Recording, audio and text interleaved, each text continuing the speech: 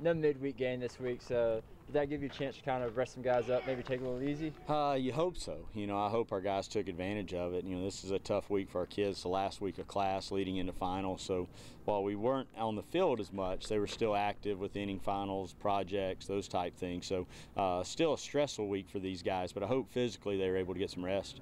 Mm-hmm. And coming up now this weekend with ETSU, you're one of like three or four teams bumbled up right there at eight and seven. How important is this series? I think the next three are real important. You know, one just to get confidence and momentum going into the tournament, and then obviously there's the seeding aspect too that you hope you can play well and position yourself as good as possible. So um, the biggest thing for us is to continue to try to progress and get better. You know, last week we had a good week, and we were three and four last week against two good teams. So you hope that you can carry over that momentum. That's the downside of not having a midweek game is you have a little bit more of a break. But uh, we just need to get back out and hopefully play good baseball. Mm -hmm. What are some of the focuses for this weekend against ETSU? I think when you look at East Tennessee, they're really offensive. You know, they fit in well with our league of, of really scoring runs, you know, both from an average standpoint and a power component as well. So uh, we're going to have to pitch well. And uh, we did that last weekend against the leading hitting team in, in our league in Greensboro. So uh, we're coming off a weekend where we've had the pressure of pitching against a good lineup, and we're going to have to do it again this weekend.